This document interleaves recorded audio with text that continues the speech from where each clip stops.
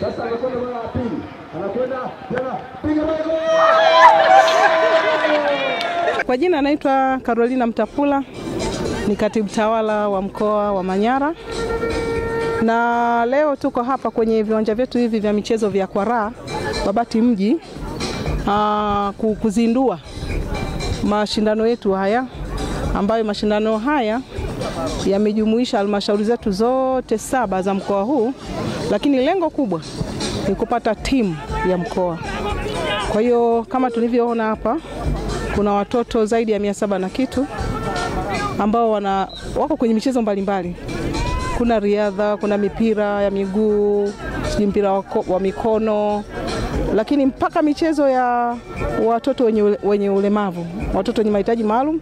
Kuna ule mpira wa kengele, mpira wa kengele.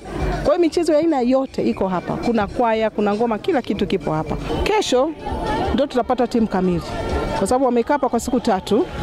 Kwa hiyo ndani ya siku tatu hiyo tumeshaanza kunyofoa nyofoa wale ambao tunaona watatutengenezea timu ya mkoa.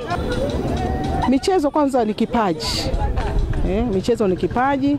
Kwa hiyo uh, na michezo pia ni ajira, michezo ni fursa.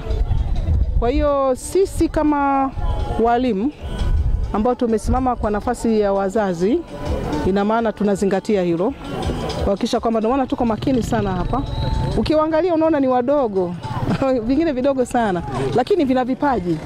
Kwa hiyo hapa ni kama sehemu ya, ku, ya kubaini vipaji vya watoto hawa. Kwa mimi nitoe tu wito kwa wazazi wenzangu ambao wako kule majumbani kwamba hawa watoto uh, tujue kwamba wana vipaji vyao ambavyo wamezaliwa navyo.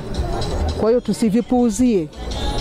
Tunapovipuuzia na tukakata yaani tukam, tukamdiscourage mtoto kwamba usifanye hiki, achana na hiki kitu, ujue tunamuua. Tunaona tuna mifano mingi sana ya watu ambao wanaendesha maisha yao kutokana na michezo hii.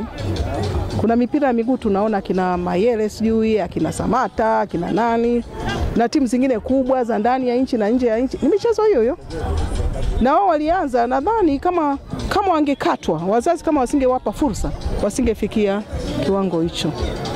Kuna michezo mingine ya basketball tunaona kimataifa, hata kitaifa, riadha tunaona eh, akina Philbert Bayi akina wote wameanzia huku huku.